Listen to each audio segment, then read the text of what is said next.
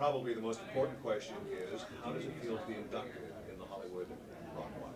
I think uh, to me it was it uh, especially when we got the notice that we were being inducted. Uh, it was just an overwhelming feeling of, of, thankfulness that people recognized us and, and the music that we played and performed. Prior to um, the Rock Walk, other than record sales, was there anything that really ever made you feel like you had made it and been recognized? Uh, just some of the fine jobs that we were able to do, and a lot of the really uh, fine entertainers that I was able to work with over the years. Uh, uh, some some of my idols when I was growing up that I got a chance to actually meet and perform with, and uh, and it was just fun seeing surf music actually, you know, be recognized after so many years. Well, would you have believed years ago, when you were actually cutting school, that this would have actually happened to you one day? Uh, not directly because you don't really. It wasn't. It wasn't a thing then, and so. Uh, consequently, it was something that we were just happy to be able to play our instruments, go on the road, uh, meet a lot of the fans, have a great time, and uh, produce and play uh, music that people liked.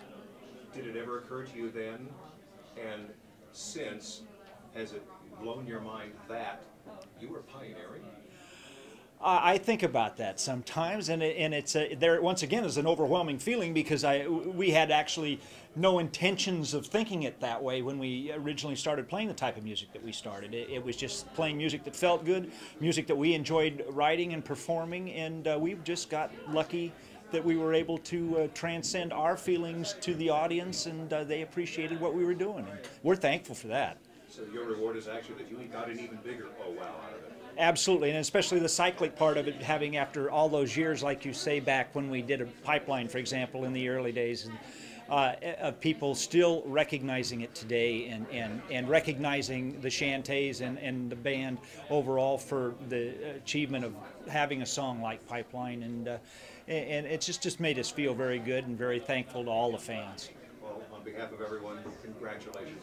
Oh, thank you very much. I really like to thank the Rock Walk for, I mean, doing what I feel is probably one of the finest things for rock musicians, and I, am assuming is inspirational to uh, to a lot of uh, the young young guys coming up, the young players and stuff. And rock on, surfs up. Is it good? I, I was I wasn't here. Sorry. Okay. Oh, great. Okay. You can cut. There you go.